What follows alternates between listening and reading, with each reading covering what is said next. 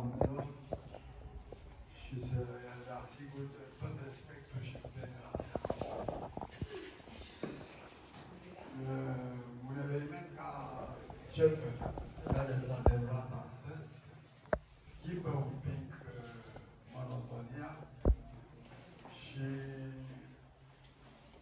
dă culoare zilei prezente. De aceea, încă o dată, țin să mulțumesc Fundației Societății, Asociație. Asociației. Și să Deși, exact cum spunea domnul Virgil, poate dintr-o rutină, uneori e destul de greoaie.